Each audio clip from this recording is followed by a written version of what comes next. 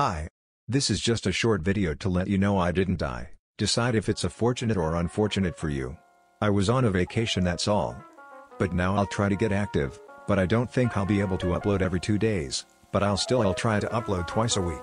Also, I don't think I'll finish the drifting series, I thought it was a good idea, but I like grip racing much more, and I don't want to do something I don't really like. Hope you understand. But that's all. Bye.